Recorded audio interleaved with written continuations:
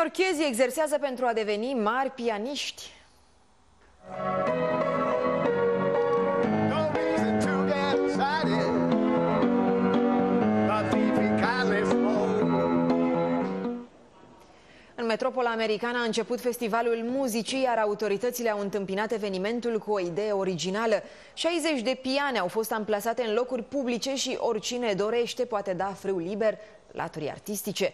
Instrumentele muzicale vor fi la dispoziția publicului timp de două săptămâni, apoi vor fi donate unor școli și spitale din oraș.